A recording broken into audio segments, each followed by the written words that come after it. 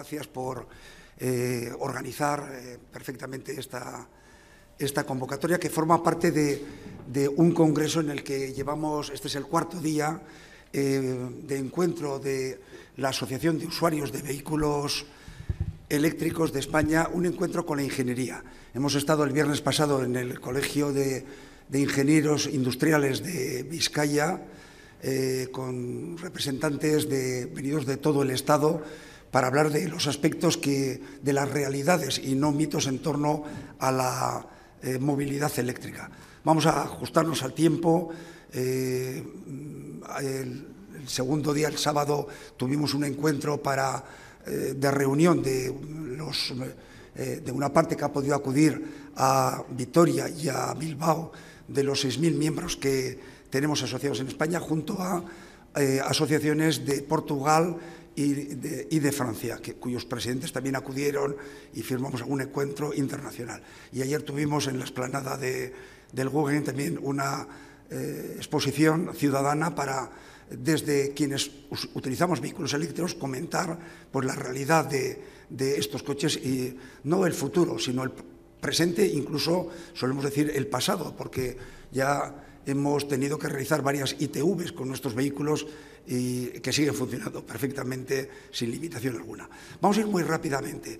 Eh, por una parte, nos hemos reunido con ingenieros eh, eh, colegiados que vienen trabajando de tiempo atrás y aquí queríamos alentar estas vocaciones hacia carreras de STEM, de ciencia, tecnología, ingeniería y matemáticas, incluso de arte entendido en el sentido de humanidades. Y primero, ¿qué es AV? Esta es una, es una fotografía de, este mismo viernes. AV es, perdón, AV es una asociación con presencia, aquí nos falta Canarias, eh, prácticamente estamos distribuidos por toda España. Eh, podéis, es una asociación sin ánimo de lucro, es una ONG, no recibe ninguna financiación externa, eh, sino por primera vez, después de años, de una entidad filantrópica norteamericana en favor del clima en Europa, norteamericana y europea. Eh, y este es un primer congreso que este mes hemos realizado, que concluye con esta jornada y al que seguirán encuentros con la ecología, con la eh, inteligencia artificial, con la economía también para destacar ese tipo de aspectos. Tenemos comisiones que trabajan pues, eh, nuestros datos muy apreciados que han servido, van a servir para una presentación que el 18 de abril eh, hará el Ministerio de Transición Ecológica y Reto Democrático. Pero ante todo somos una organización sumamente distribuida, con presencia en todas las comunidades, unos 6.000 usuarios, eh, donde tratamos de elevar la voz de quienes sabemos qué es la movilidad eléctrica porque la hemos vivido en épocas complicadas, en épocas donde las baterías no estaban tan climatizadas, donde podía haber problemas, hasta llegar al momento actual. Y alertamos también pues, de riesgos que podíamos, en los que podíamos incurrir. Hay que ir rápido. Eh, esta presentación está, a vuestra disposición. Eh, seguir, vamos a eh, establecer más enlaces, más links, pero la movilidad es sostenible. Quizás es un campo interesante para para que ingenieras o estudiantes de ingeniería o ingenieros, porque creemos que es un campo donde concurren una serie de innovaciones que van a dar lugar a una eh, revolución no solo energética o en movilidad, sino también incluso social eh, y cultural. No tenemos tiempo, pero esto nos llevaría a otra presentación con estas tendencias de hace no demasiado tiempo, impartida por aquí eh, cerca, eh, en la que se hablaban de, distintas soluciones. Pero, por citar solamente este acrónimo, en inglés la movilidad va a ser eléctrica, que esto es quizás no lo más relevante, eh, pero sí que en, aspectos ecológicos y energéticos sí que es una eh, opción que es única porque no hay alternativa alguna. También la, movilidad va a ser con grados de autonomía, de autoconducción cada vez mayor, va a ser también eh, compartida. Eh, la, gente más joven, ya el, el, propio concepto de propiedad de un automóvil está, tenemos que recurrir también por razones de sostenibilidad a movilidad compartida, va a ser una movilidad también conectada con el Internet de las cosas, ya esto eh, es así en este momento, pero viviremos escenarios eh, sorprendentes y va a ser también una movilidad eh, conectada y actualizada en tiempo real. muchos de nuestros coches son mejores que, que en su origen, algo que no pasa jamás con otro tipo de movilidad, porque han perfeccionado sus softwares, tienen más autonomía, tienen mejores prestaciones, son más seguros que antes, conducen mejor, etc. Y estos son cinco grandes paradigmas de cambio. Por otra parte, también, eh, no hay tiempo aquí de desarrollarlo, pero en este momento, y el título de estas fábricas oscuras o fábricas a oscuras que llevamos al titular, es que conviene que desde estas vocaciones eh, yo soy físico, he estado años en la propia Universidad del País Vasco exponiendo temas de didáctica de, la ciencia y de divulgación de ciencia y tecnología y matemáticas. Eh, vamos a vivir, estamos preocupados por el año 35, por la prohibición. En el año 35, antes de eso probablemente se produzca esto que espero que conozcáis bien, que es esa singularidad eh, tecnológica.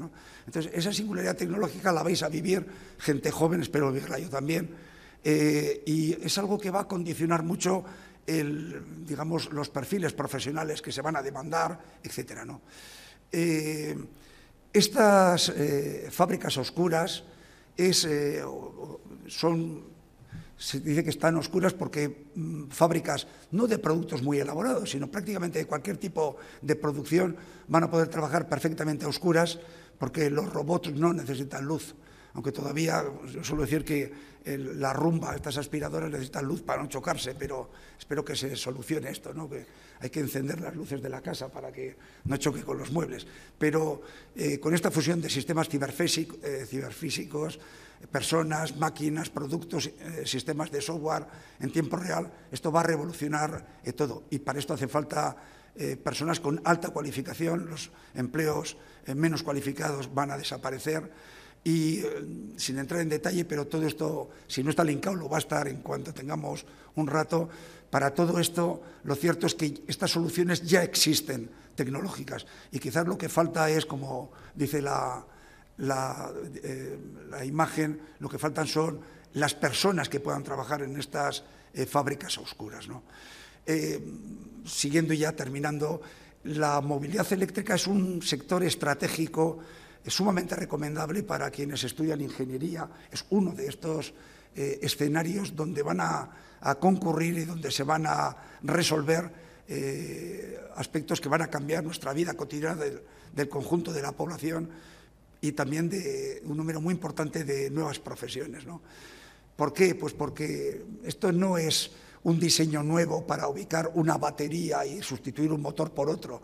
Significa un diseño enteramente nuevo, significa que de acuerdo con esos cinco, cinco criterios que hemos comentado, el producto más importante de un vehículo eléctrico es el software que lo, que lo rodea. A veces se dice que una marca, nunca citamos marcas desde, desde eh, eh, es, un ordenador con ruedas. Es que lo que queremos es capas de seguridad, queremos capas de conexión, queremos eh, capas de, mejora continua, capas de, digamos, de sostenibilidad. Vamos a vivir una explosión de energía, el despliegue de parques fotovoltaicos o de energía eólica va a ser que España pueda ser, y somos líderes en componentes, en fabricación de componentes de infraestructuras de recarga, vamos a ser un país donde la energía va a ser muy barata. Y un vehículo eléctrico es una broma, pero eh, seguro que conocéis gente que ya tiene soluciones de autoconsumo y que casi te agradecen que un fin de semana recargues allí. Y todavía no conozco a nadie que tenga un surtidor de, que destile petróleo de vez en cuando para que repostes. ¿no? Entonces, es un, eh, es un sector eh, donde cambia no solo el aspecto de la energía de origen eh, para producir el movimiento, sino que concurren todo ese tipo de tecnologías. Y por último, en esta conferencia también de este mismo viernes pasado, de antes de ayer casi, en el Colegio de Ingenieros de Bilbao, la, directora general del CIG Energigune, que está aquí en mi año, Nuria Gisbert, tenéis la grabación completa, aquí la podríamos, estar en el punto en el que se comentaba, bueno, anunció esa, que parece que afortunadamente tendremos dos gigafábricas de baterías, la, que está prometida en Sagunto por el grupo Volkswagen, y ojalá también esta de, de eh, aquí con, tecnología y tenemos un ponente que trabaja también en una de las secciones de esto. Y anunció, eh, me pareció muy relevante, lo comentamos con ella, que solamente en el campo de las baterías, para ver lo que significa esto, Europa, según el, comisario de Energía, eh, citaba que para el año 25, o sea, pasado mañana, Europa va a necesitar unos 750.000 ingenieras o ingenieros. En España y en este momento, para que os hagáis una, eh, eh, la magnitud que significa esto, en España trabajan en este momento unos 750.000 ingenieros. En esas nueve especialidades, el 43% son ingenieros industriales.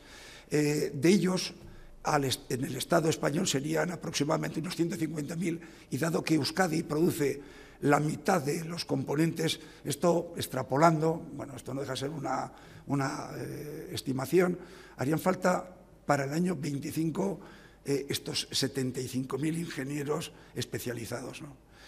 Y, poco más. Eh, os animamos a que veáis, os asoméis a v.org, pertenecemos a todas estas alianzas globales que están con vehículos eléctricos desde Australia hasta hasta California, en los cinco continentes.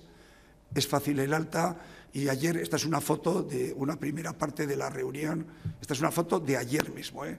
de hace menos de cuatro horas. Hay algún spot que tenemos por ahí en euskera y castellano y nada más. Eh, aquí tenéis eh, nuestro contacto, ojalá podemos hablar luego. Y una recomendación también, informaros antes de renovar vuestro coche eh, es, un poco drástico, pero no compréis nada que tenga un motor de combustión. Y eso significa eh, que los híbridos eh, no dejan de ser un placebo, enchufables o no, y que otras soluciones, aunque luego se hablará para vehículos particulares, la pila de hidrógeno es una solución que, que no es una cortina de humo para, para retardar la adopción de la elección por un vehículo eléctrico, por muchas razones. Gracias.